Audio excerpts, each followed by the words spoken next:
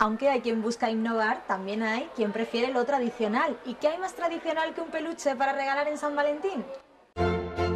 Rosas, bombones, joyas y peluches.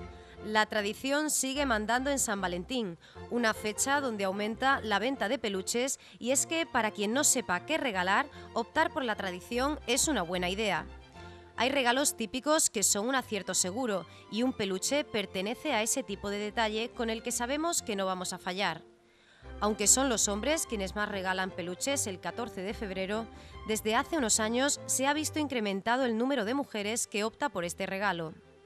Desde los osos de peluche hasta los Angry Birds o gatos y caballos bastante realistas, se pueden encontrar una infinidad de peluches, siendo posible encontrar el adecuado para el enamorado o enamorada que lo va a recibir en una fecha tan especial como la de San Valentín.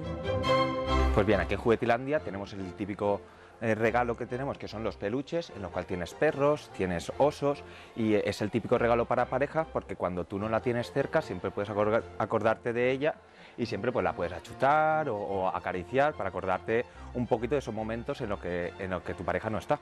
Bueno, habitualmente suele ser el, peluche un regalo más para chicas, pero en estos tiempos pues cada, vez más hay chicas que también regalan algún peluche para, para los chicos, ya sea para tenerlo en su habitación, para tenerlo en el coche, para siempre para que se, recuerden, para que recuerden a su pareja.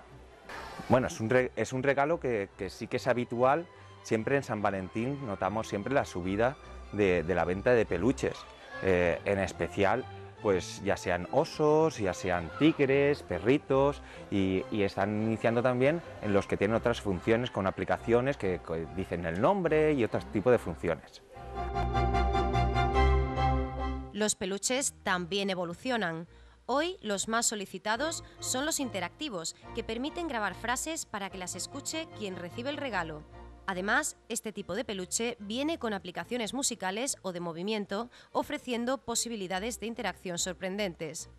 Junto a los peluches más sofisticados, también encontramos los de la casa Disney y es que Mickey y Minnie no pasan de moda. Sí, cada vez hay más tipos de, peluches, hay, cada vez hay más interactivos, los pues tienen eh, wifi, eh, wifi, tienen un cable USB en el cual tú le puedes introducir programas y ellos pueden decir frases y, otras cosas, como podéis ver en, la otra pared. Sí, Mickey Mini y todos los productos de Disney son dos clásicos en, la tanto en la juguetería y en especialmente en los peluches. Cada vez salen más productos interactivos de Mickey Mini. Y, en este, y aquí podéis ver también que hay eh, soñadores y con, como te he dicho anteriormente, eh, que tienen interacciones que dicen tu nombre, que dicen frases, que si les achuchas dicen alguna cosita. Claro, hay muchos peluches interactivos que solamente con, el paso de, con el movimiento tienen sensores de movimiento que enseguida pues te dicen un silbido o hacen algún tipo de interacción. Pues para orientar para quien, quiera que no tenga la idea prediseñada, pues tiene por aquí el típico oso, tiene más, más grande, más pequeño, tiene perritos, te acercas aquí tienes osos pandas de diferentes tamaños, tigres, más grandes, aún más grandes, osos polares. Y de ahí ya pasamos al juguete moderno, al peluche moderno, que son los diferentes eh, peluches interactivos, que en los cuales tenéis toda la sección de Mickey Mini, que tenéis aquí arriba, que tenéis desde el astronauta hasta el más clásico, otros como, como Pluto de la familia también de Disney, y otras innovaciones como perros y gatos interactivos, como estos de aquí, que, que responden a las diferentes caricias que les hacen y son programables también a través del ordenador que son los que se llaman un peluche interactivo inteligente, que es lo que está más en vanguardia a día de hoy. Así puedes recordar, eh, puedes decir el nombre de tu pareja y así recordarla, recordarte siempre. Hay un amigo en mí, hay un amigo en mí, cuando salgan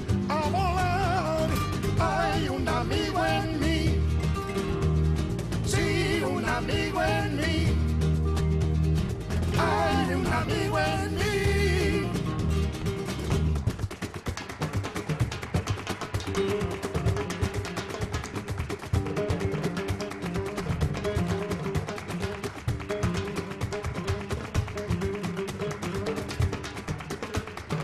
Hay mucho que puede ser un poco malistón mas nunca habrá que puede ser un amigo fiel, que tú lo sabes.